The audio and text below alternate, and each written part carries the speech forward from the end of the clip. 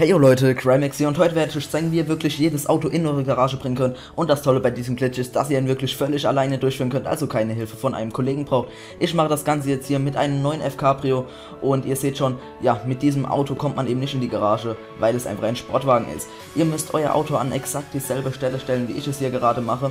Also zwei Räder auf der Straße und zwei Räder auf dem Bordstein. Und es funktioniert wirklich nur an dieser Stelle, weil da das Auto nicht despawnt. Wenn ihr es da abgestellt habt, dann müsst ihr noch euren Spawnpunkt auf die Garage stellen. Und jetzt würde ich euch noch empfehlen, die Tür zu öffnen, damit ihr später schneller in das Auto reinkommt, weil ihr euch wirklich sehr, sehr beeilen müsst bei diesem Glitch.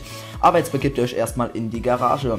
Wenn ihr dann in der Garage angekommen seid, dann müsst ihr erstmal einen Hut aufziehen oder den Hut wechseln, wenn ihr bereits einen aufhabt. Und wenn ihr dann das getan habt, dann müsst ihr erstmal kurz warten, bis unten rechts das gelbe Laderad wieder weg ist. Wenn dieser dann auch gleich schon wieder weg ist, dann machen wir im Prinzip auch das gleich wie schon bei dem alten Glitch, um wirklich jedes Auto zu versichern. Wir setzen uns in irgendein x-beliebiges Auto rein und holen unser Handy raus. Dann gehen wir auf schneller Job und treten irgendeinem x-beliebigen Job bei.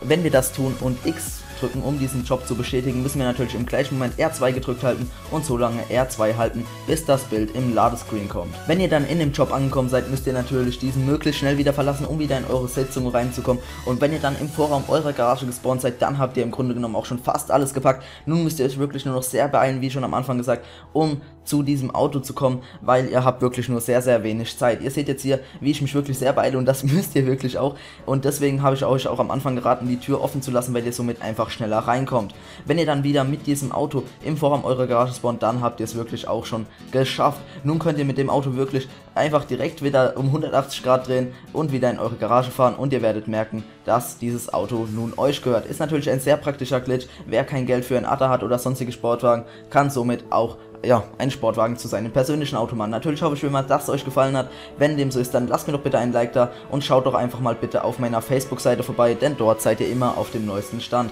Bis dahin, haut rein Leute, euer Crimex.